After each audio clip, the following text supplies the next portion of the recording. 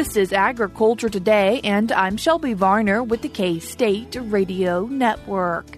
Starting off the show is K State Crop Performance Test Coordinator Jane Lingenfelser with details about corn, grain sorghum, soybeans, and sunflowers 2023 Crop Performance Test. She takes two parts to talk about the top two hybrids from many locations across Kansas. In the first segment, she discusses corn and grain sorghum and then wraps up talking about soybeans and sunflowers in the following segment.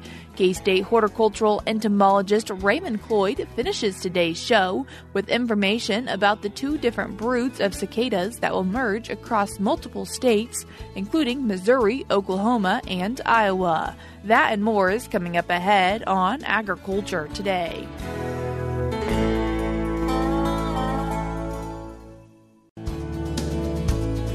You're tuned in to Agriculture Today, and we start our Thursday show discussing 2023 crop performance tests. And then to talk about them, we're joined by Jane Lingenfelser, K State Crop Performance Test Coordinator. Jane, thanks for joining us today. Thanks for having me. Jane, as we're talking about these crop performance tests that really have happened for many, many years, as we look at this past year, what was the 2023 growing season like? Well, I always like to come up with some sort of analogy, and it really wasn't a roller coaster this year. It was more like a, a, water ride that is nice and calm and smooth before you just plunge down a waterfall into rapids and get banged around and soaked before the ride levels out again and is smooth again. So the majority of the 2023 season was relatively mild compared to the previous year, and they had hopes for good yields again. Eastern and central Kansas were still considered to be under threat on the U.S. Drought Monitor map, but there were some small and relatively frequent rains and cooler than normal temperatures that kept everything going. And early in the season, there were really beautiful dryland corn and soybean fields throughout the state. And surprisingly, there were areas of southwest Kansas that did get soaked this past season with periods of flash flood warnings. However, uh, most of the state did plunge down that waterfall at the end of July into August. There was absolutely no precipitation statewide from August 18th until the 24th, while the average temperatures were 6.6 degrees higher than normal. There were areas in the northwest and southwest Kansas that had extra soil moisture to pull from that were much better off, but central Kansas was really hard hit by the drought. However, in mid August, the temperatures calmed again to an average of 1 degrees cooler than normal, and precipitation picked up again, but for eastern and central Kansas that didn't have those soil water reserves to draw from, the damage was really done by then. There were reports of tissue damage and stalk rots that led to yield reductions and lodging, which was not helped with severe weather later in the season. Jane talking about a few different crops today, and the first one being corn. And what was it like for 2023? Well, first I'll mention um, the biotic pressures of 2023. Overall, these weren't really much of an issue, or it just wasn't apparent because of the greater effect of heat and drought. So the main concerns for corn were stalk rots, and there were some concerns with Japanese beetles feeding on silks in eastern Kansas, and a few reports of spider mites, but not any more than usual. So looking at our results, I will mention the top two hybrids that performed well in a particular testing location, if that location was available. And this is by no means the only two hybrids that did well at a location. Overall, we found that early planted corn performed better this year, and thanks as always to Pioneer for supplying our maturity check hybrids. So starting out with northeast dryland regions. We had Manhattan in Riley County. The average yield at Manhattan was 141 bushels. That's down 42 bushels from 22. And the type 2 hybrids was our mid maturity check from Pioneer, Pioneer P1289AM, and Phillips PS 0943V32 did well in northeast dryland. And what about some hybrids for the eastern dryland? We had Ottawa in Franklin County. The average at Ottawa was 174 bushels. That's down 10 bushels from last year. And hybrids that did well Lewis 15DT664 and Pioneer P1170AM did well. Also, Rossville in Shawnee County, the average there was 185 bushels. That's up 34 bushels from last year. And we had two hybrids from Lewis, Lewis 13 DT 644 and Lewis 15 DT 664 did well in Rossville. Continuing the conversation now with irrigated land in the eastern part of the state. We had Silver Lake in Shawnee County. Our average there was 239 bushels. The two hybrids that did well, Lewis 14 DT 603 and our full season maturity check from Pioneer P1903 AM did well in our eastern irrigated test. We also had one location in the central part of the state. That was Belleville in Republic County. The average at Belleville was 169 bushels. And the two hybrids that did well, Pioneer P1170 AM and Lewis 15 DT 664 did well in the central part of the state. We also had two irrigated locations. We had Scandia in Republic County. The average at Scandia was 193 bushels. That's about average from last year. And we had two NK varieties, NK 1188AA and NK 1701V did well at Scandia. We also had Abilene in Dickinson County. The average there was 242 bushels.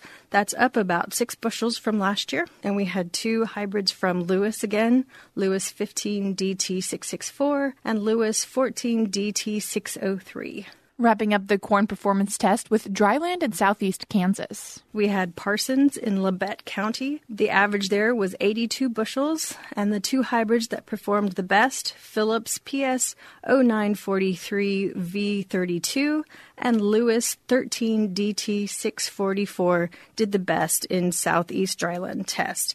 We had no test from South Central Irrigated, Western Dryland, or Western Irrigated Kansas. Surprisingly, the only dryland site that was abandoned solely because of the drought this year was Hays in Ellis County. The heat stress and the water stress were contributing factors in the loss of Hutchinson in south central, in addition to adverse weather. But Colby in northwest Kansas and Leoti in southwest Kansas were actually abnormally wet during July and August. However, both those sites were devastated by high winds and hail. Moving on to our next crop for today, grain sorghum. And Jane, what do we see for grain sorghum in 2023? Sorghum obviously is much more equipped to handle the hot, dry periods of the growing season, but we weren't able to recoup results from Belleville, Beloit, Assaria, and because of the differences among hybrids were attributed more to the drought than to genetics.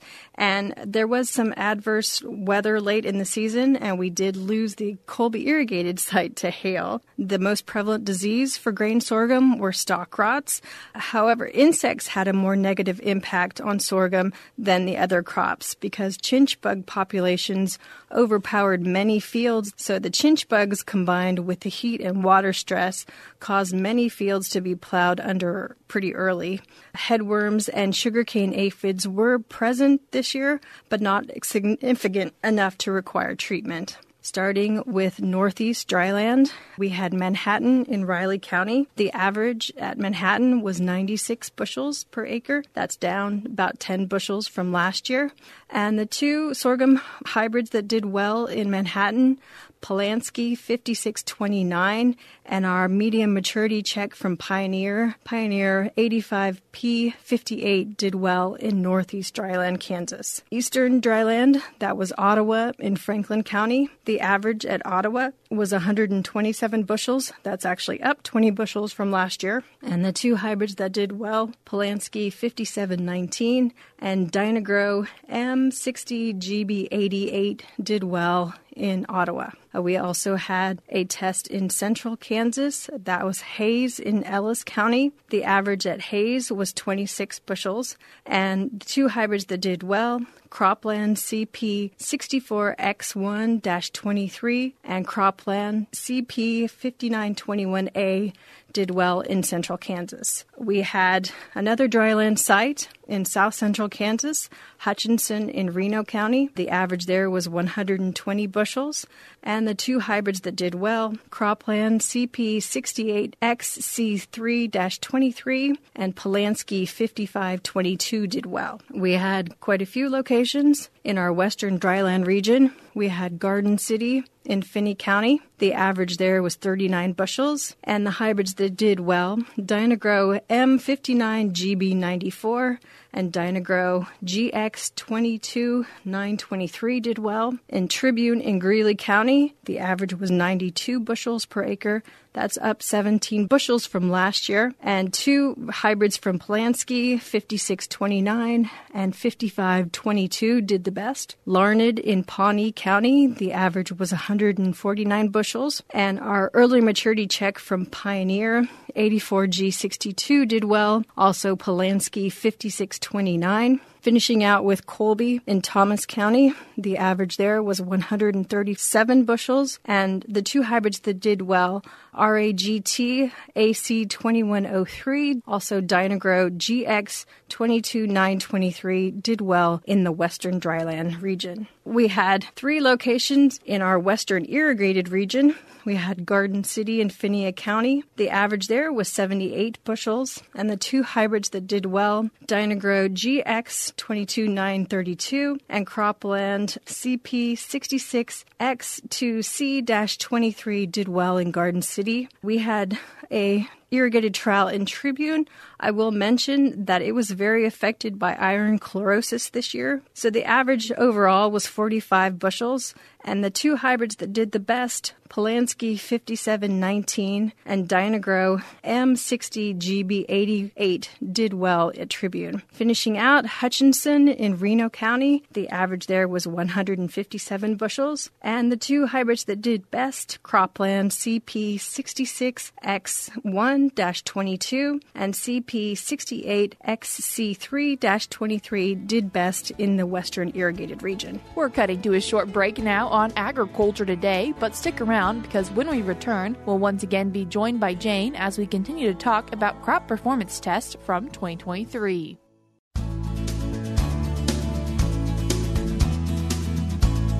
You're tuned in to Agriculture Today, and we continue our Thursday show with K State Crop Performance Test Coordinator Jane Lingenfelser as she continues discussing the crop performance tests from 2023.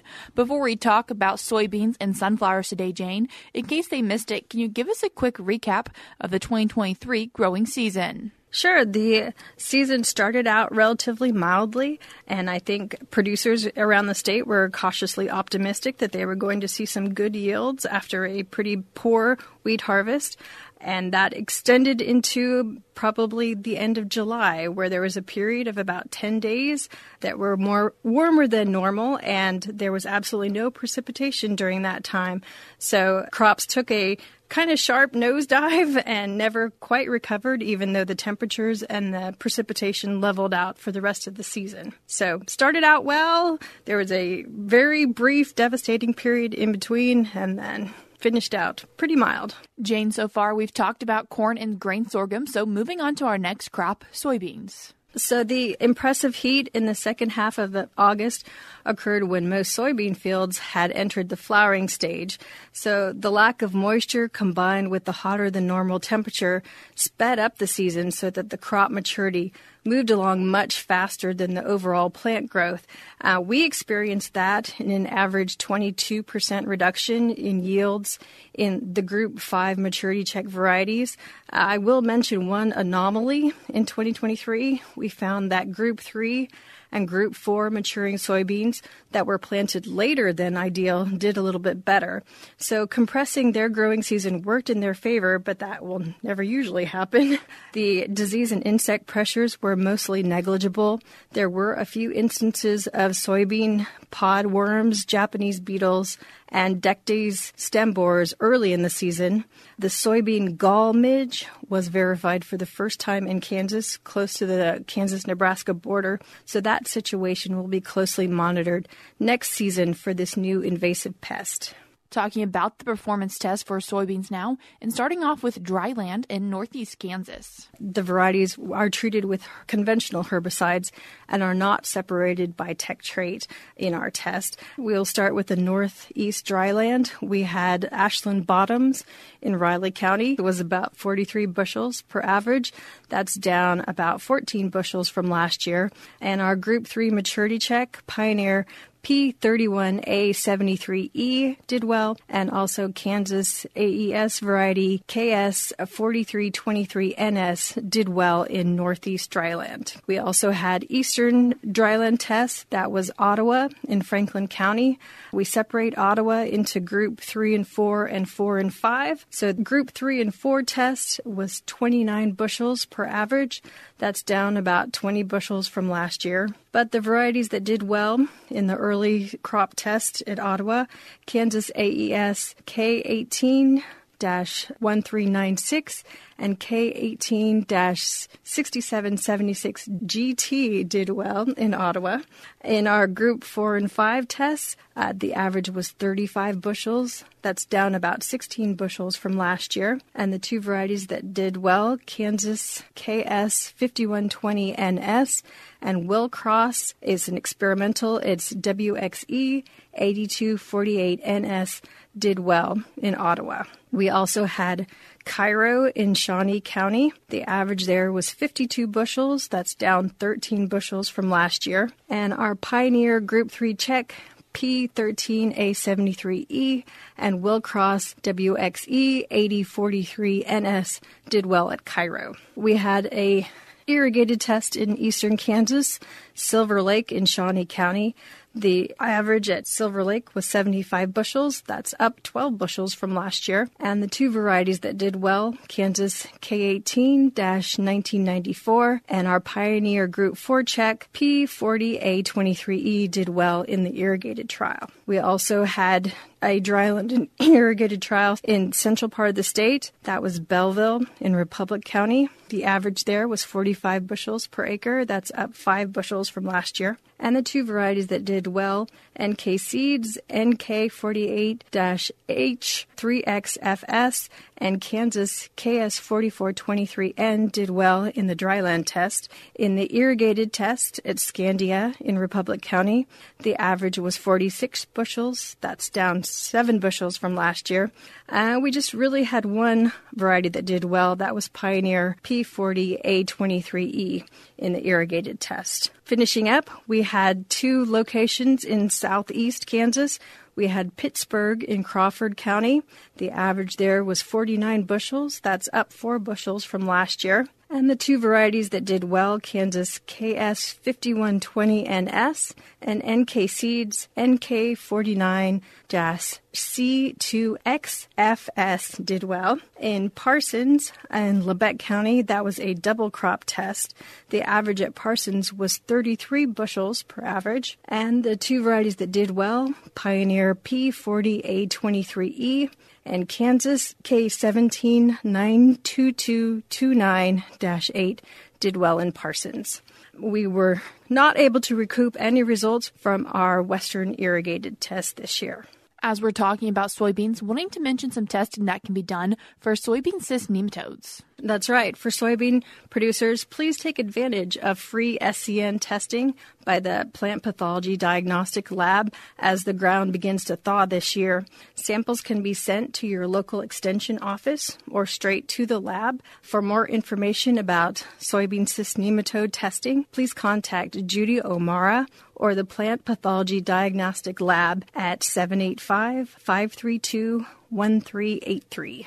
And Jane, as we're from the sunflower state, wanting to mention how the sunflowers did in these performance tests as well. That's right. And they experienced significant heat stress along with all the other crops. Pest wise, sunflower head moths are always the primary concern, but the infestation level didn't get to the, the level of requiring widespread treatment. There were a few reports of seed weevils and head clipping weevils this year, but those also didn't seem to require treatment. So we had three regions and three locations, starting out in northeast Kansas um, Manhattan in Riley County. The average there was 1,440 pounds per acre. That's down about 500 pounds from last year. And the two hybrids that did well in this sunflower test Pioneer P64MEO1 and Nuseed N 4H 422CL did well in northeast Kansas. In south central Kansas, we had a test at Hutchinson in Reno County. The average there was 1,826 pounds per acre. And the two hybrids that did well Pioneer P64MEO1 again, and Nuseed Hornet did well in Hutchinson. And finally, we had a trial at Parsons in Labette County in southeast Kansas. The average there was 875 pounds. And again, Nuseed N4H 422CL and Pioneer P64MEO1 did well in southeast Kansas. And Jane, you've mentioned a few times that this is not all of the things that were tested, just the select two hybrids from locations. That's right. This is a very brief overview of all the hybrids and varieties that stood out uh, in the 2023 tests. The, again, the production factors this year were mostly weather related stresses. So, as always, I encourage producers to look at a variety of sources and years of data to find the product that fits best with their conditions and management. Um, so, the reports are available at agronomy, that's A G R O N O M Y dot ksu.edu slash outreach and services slash crop performance tests. Um, the books are available at the KSRE bookstore and will, will be available in local extension offices or could be ordered by calling 785 532 5830 or ordered at the KSRE bookstore. That address is ksre.ksu.edu slash bookstore. And Jane, if people are wanting to find more information or keep up to date with crop production in Kansas, is there a way they can do that? Absolutely. They can always um, follow along at our website. That address again is agronomy.ksu.edu slash outreach and services slash crop performance tests. And for additional insights into all things related to crop production in Kansas, please consider the 2024 K State Crop Talk webinar series starting on this Tuesday and every Tuesday from 12 to 1. Participants will be given a link to attend on Zoom or YouTube, and that can be found by visiting the K State Northwest Research and Extension Center's website to register. That address is www.northwest.kstate.edu slash events slash crop talk series. Or you can contact your local KSRE Extension office or the Northwest Research and Extension Center office, and that phone number is 785 462 6281. Jane, I appreciate you taking the time to join us today and talk us through a lot of the crop performance tests for 2023. Yeah, well, thanks as always for having me. That was K State Crop Performance Test Coordinator Jane Lingenfelser. I will link the crop performance test in today's show notes on agtoday.net. We're cutting to a short break now, but we'll be back with more ahead.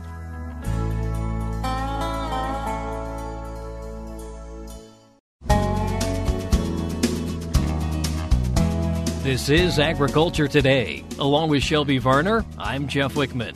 Cicadas are known for the haunting, screaming noise they make and for numbering in the millions. This year, two different groups or broods of cicadas will emerge across multiple states, including Missouri, Oklahoma, and Iowa. Brood 19 and Brood 13 are both set to emerge this spring, marking the first time this double emergence has occurred in 221 years.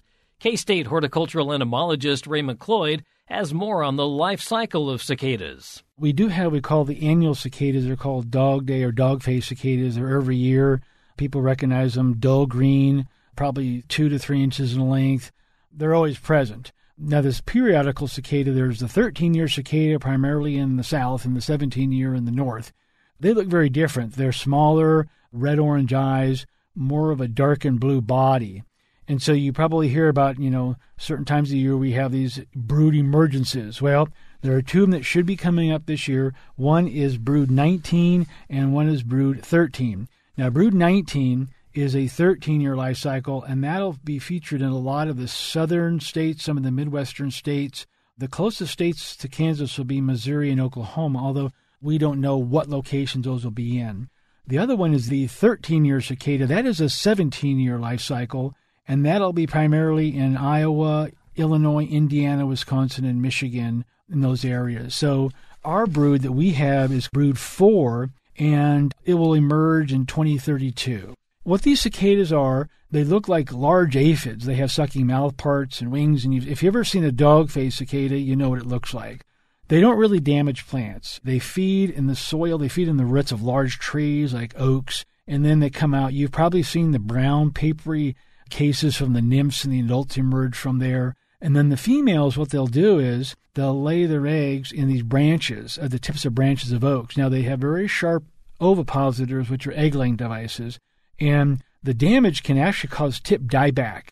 And so, when we know we're going to have an emergence, say in 2032, we recommend don't plant any new trees because if the cicadas are laying their eggs, they can cause some massive, substantial, extensive dieback. And then the nymphs emerge from the eggs, and then they'll crawl back to the ground and be there for 13 or 17 years, or, you know, for annual life cycle, basically. So they're not really a plant pest, but when you've got billions, and I mean, I, I have, I have been, and I have seen and been involved in two emergences since I've been in the Midwest, and it is, it is quite striking. You know, it'll, it'll freak people out, but again, they're not biting you; they're just flying around, and then they'll eventually dissipate, and then we'll have another brood, basically. So there's no need to be concerned and just call your extension office if you have any questions. But again, we're in the 19 and 13 year broods, and the closest they'll be is Oklahoma, Missouri. I don't know where in Oklahoma, Missouri. I'm going to try to find out so I can go see them. Um, if you remember, I think it was 2015 in Topeka, we had our brood four, and it was quite striking. I, I remember going into a Cracker Barrel restaurant and people were just running because these these I was there taking pictures. These cicadas were all over the place. So at this point, there's no brood emergence in Kansas, so there's no need to worry about that. But if you have any questions, you contact the Extension office. One other thing we wanted to talk about is the fact that we're still in winter and we need to make sure that the plants are getting water. Exactly. This is the time of year, even though certain trees won't have leaves, there's still transpiration. We've had not as much moisture as we need, so make sure your your trees or shrubs and plants, uh, especially conifers, are getting plenty of water, deep soaking, and then also go through some of the deciduous trees and prune out the dead, dying, and, and diseased branches, get them kind of shaped up, and that alleviate pest problems. I mean, dead branches are places where disease uh, can probably get started, and certain uh, insects might use, especially the wood boring insects. But just get your plants pruned and, and mulched and watered so they'll have a really good start for the spring year. And if you have any questions, you can always contact your local extension office. Exactly. You contact the Department of Entomology you can contact your county extension office if you have any questions regarding insect or, mite, or, or any problems related to your plants, turf grass, or um, whether it be ornamental or vegetable in your garden. That's K State horticultural entomologist Raymond Cloyd with information on the double emergence of cicadas this spring and the need to maintain the home landscape this winter. And that'll do it for this edition of Agriculture Today. For Shelby Varner, I'm Jeff Wickman. This is the K State Radio Network.